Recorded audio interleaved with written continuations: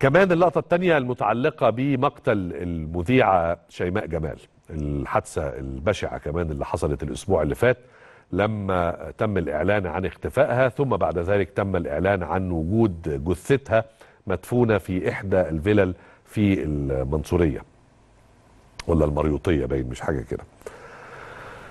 إيه بقى اللقطة؟ اللقطة إنه خلال الكام يوم اللي فاتوا طلع برضو كلام وشائعات على مواقع التواصل الاجتماعي بأنه في حالة من حالات التجاهل لقضية شيماء جمال وإنه بسبب الوظيفة بتاعت زوجها اللي متهم بالاشتراك في قتلها آه كأنه يعني في نية كده لأنه الموضوع يعدي وإن النيابة ما تشوفش شغلها وإن المحكمة متأخرة. كلام الحقيقة ما أعرفش الناس بتجيبه منين. كأنهم قاعدين في مكتب النائب العام أو كأنهم قاعدين في سرايا النيابة وعارفين إيه اللي بيحصل وإيه اللي ما بيحصلش وسمعوا النيابة العامة وهي بتقول لا لا مالناش دعوة بالقضية كلام فاضي الحقيقة كلام فاضي جدا جدا جدا لأنه مفيش حاجة اسمها كده. القانون هياخد مجراه على المعروف وعلى غير المعروف على اللي بيمتهن مهنة زي دي ولا على اللي بيمتهن مهنة زي دي. وأي جريمة يرتكبها أي صاحب مهنة تشينه هو لا تشين المهنة. تشينه هو لا تشين المهنة. يعني أنا إعلامي وأنا ارتكبت جريمة لا قدر الله ربنا يعافينا يعني ويسترها علينا دنيا وآخرة.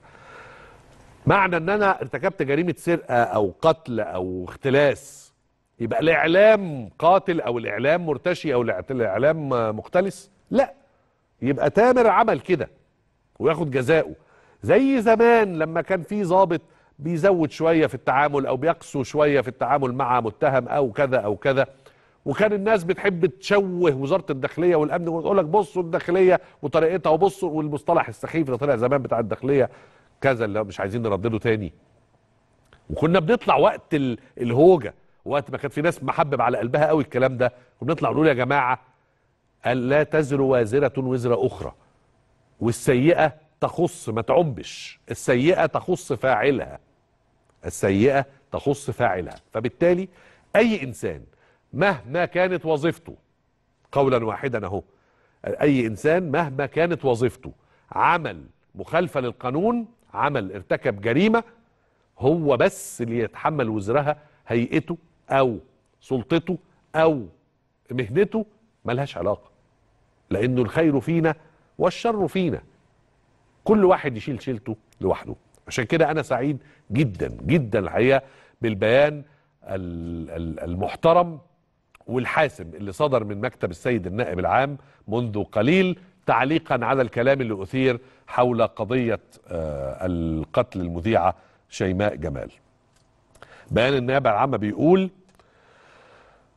كانت قد رصدت وحدة الرصد والتحليل بإدارة البيان بمكتب النائب العام. عقب إصدار البيان السابق في هذه الواقعة تداول منشورات ومقاطع مصورة بمواقع التواصل الاجتماعي المختلفة تتضمن الادعاء بانتفاء صلة المتهم عن جثمان المجني عليها بالواقعة وانعدام صلته بالاتهام المسند إليه وحبسه احتياطيا بغير سند وذلك على خلاف الحقيقة التي انتهت إليها التحقيقات.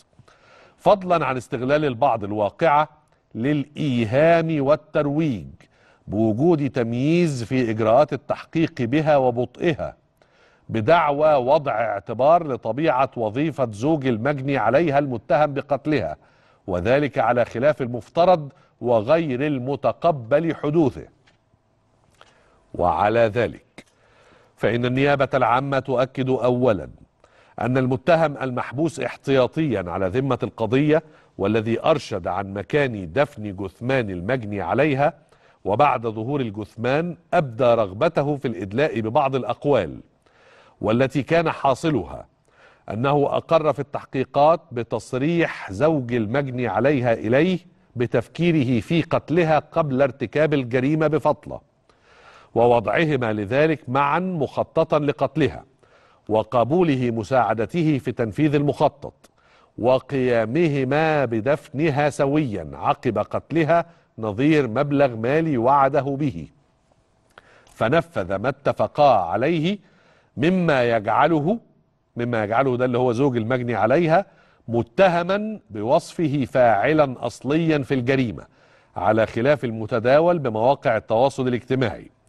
الأمر الذي قررت معه النيابة العامة حبسه احتياطيا على ذمة التحقيقات وكذلك قررت المحكمة المختصة مد حبسه. هذا.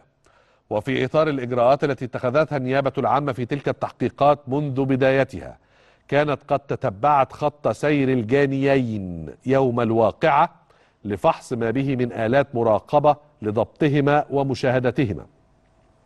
وأجرت تفتيشا لإحدى الوحدات السكنية ذات الصلة وفحصت عددا من الأجهزة الإلكترونية والتي منها ما أتلف عمدا لإخفاء ما به من معلومات. فندبت النيابة العامة خبراء متخصصين لاتخاذ إجراءات استرجاع ما أتلف. كما استجوبت النيابة العامة المتهم المذكور الذي أرشد عن الجثمان في إقراره المبين تفصيلا. وندبت مصلحة الطب الشرعي لإجراء الصفة التشريحية على جثمان المجني عليها وفحص الآثار البيولوجية العالقة ببعض الأشياء المعثور عليها بمسرح الجريمة والاستعلام عن شركات الاتصالات من شركات الاتصالات عن بيانات بعض العمليات المجراة عبر شرائح هاتفية محددة وتحديد نطاقاتها الجغرافية وقت الحادث واستدعاء من لديهم معلومات حول الواقعة لسماع شهادتهم. ثم بتاريخ اليوم الخميس الثلاثين من شهر يونيو الجاري اخترت النيابة العامة بإلقاء القبض على زوج المجني عليها نفاذا لأمر ضبطه وإحضاره. وجاري عرضه على النيابة المختصة لاستجوابه.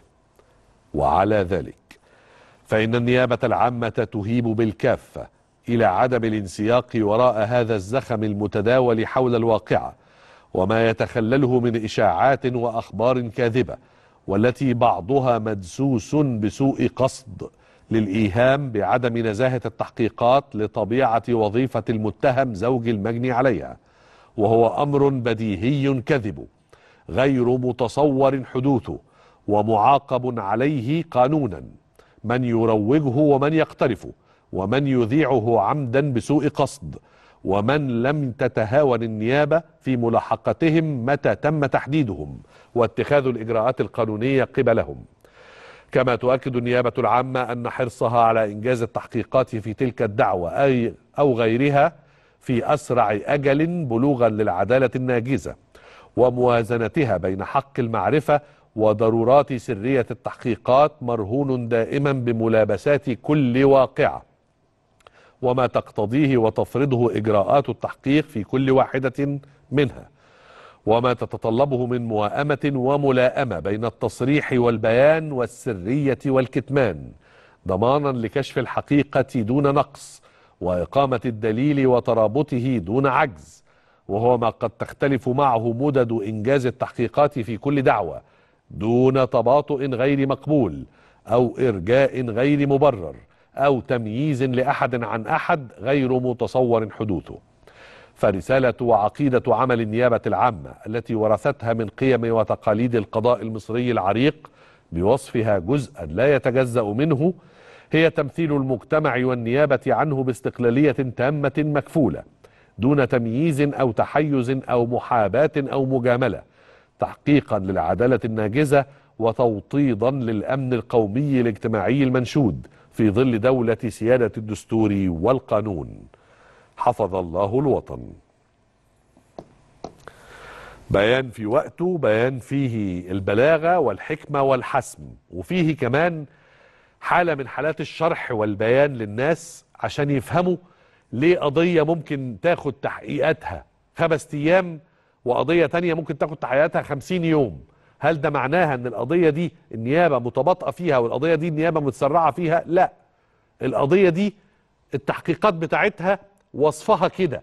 والأدلة باينة قوي والاعترافات واضحة قوي وما فيهاش اختلاط وما فيهاش كذا وفيها التصوير والأدلة والقرائن واضحة لا لبس فيها. هنا الإجراءات تبقى طبيعي أسرع من إجراءات تانية.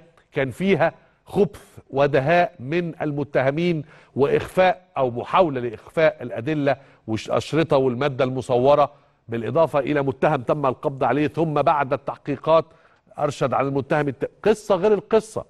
صوابعك مش زي بعضها والقضايا مش زي بعضها. إحنا اللي يحمينا ويهمنا حاجة واحدة. أن النوايا ثابتة لدى النيابة العامة في الوصول إلى العدل. وإلى الحقيقة مهما قصرت قضايا أو طالت أخرى عن مثيلتها. الهدف هو العدل الناجز بس العدل اولا مش الإنجاز بس.